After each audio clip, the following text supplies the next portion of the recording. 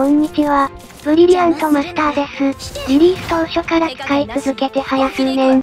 とうとう本当の輝きを手にするパワーを手に入れました。残すところはシャイニングバルキリーだけだね。5コストかいう絶妙に最強に至れないコスト。悲しいね。カーバンクルで4コスになるならブリリアント3コスの方が強いし、ハムシ2体で攻撃力1アップとかいう伝説のカード。アブロ軸なら弱くはないけど、不利状況でもう一声って感じだね。でもブリリアントは不利状況でもブリリアントする。そう、新カードのノワリスのおかげでね。コスモスファングとのハイブリッド型にすることによって輝きもさらに倍。これがシナジーってことなんですか？私にはわかりません。でも4ノワリスで打点を稼いで、6ファングで行動を制限、7カーバンクルか実りブリリアントで仕上げちゃう。そんなムーブができちゃう。大体アグロムーブで終わりだけどね。そしてコスモスファングも処理できなければ終わりみたいなもん。もうこの時点で相手は処理に回らざるを得なりかずき。渡る世間は鬼ばかりってことだよ。でもいい部分ばかりじゃなくて悪い部分ももちろんある。金貨のごとく表もあれば裏もあるのさ。まずハイブリッドだとノアリスが引けない問題が解決できる部分。これが大きな痛手になりにくい部分がかなりメリット。デッドリーエルフも採用してるから使えないハムシは融合で対応できる。あとはコスモスファングが引ければどうにでもなる。逆にコスモスファングが処理される対面の場合、ノワリスで対応できるし、ブリリアントがコスモスファング級のダメージを出してくれる。最高だね。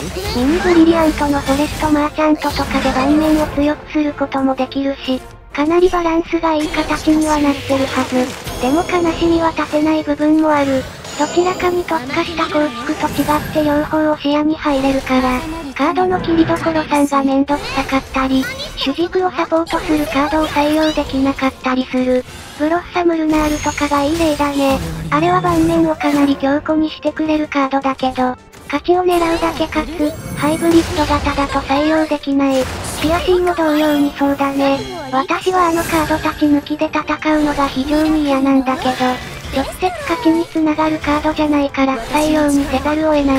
ラキカ軸のようにとにかくリーサルを狙うデッキには採用しにくいのさ。致し方ないね。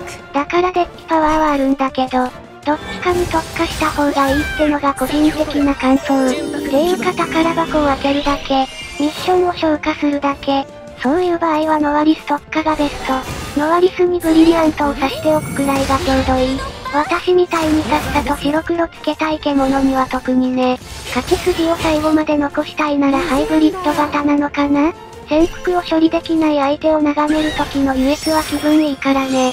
そういえばこの前ガルエルホズミっていう神コンボを思いついたんだよ。最速5ターン目にコスモスファング出せるやんけってね。さすがに5ターン目のコスモスファングは取れないだろ。そう思ってウキウキで挑戦してたわけ。オートバウンスでカーバンクルも回収できるし、これは動画にできるって思ったわけ。ま、場に出た効果だと潜伏しないんですけどね。悲しいね。ちゃんと効果を読まないからそういう間違いしちゃうのさ。ファンファーレって書いてるのにね。でもガルエルの可能性が無限大だって分かったからいいんです。あとついでにリーサルです。ハイブリッドらしく全部使えたんじゃないでしょうか。ねえ何して遊ぶの？ねえぶの？森は風の奏でる盾ごとダメそんなダメダメ想像以上ねブリリアント最強。ちなみにデッキはこんな感じ。フォレストマーチャントをブロッサムルナールにしてもいいかな。もしくはアマツのバウンススペル。コスモスループで延命する場合に便利だからね。あとはフェアリー枚数がそこそこ溜まるからデッドリーも起動したこともあったし、そこもハイブリッド。捕食者は必要なほど打点に困ったことがないのでわかりません。そんな感じで動画は終わります。ご視聴ありがとうございました。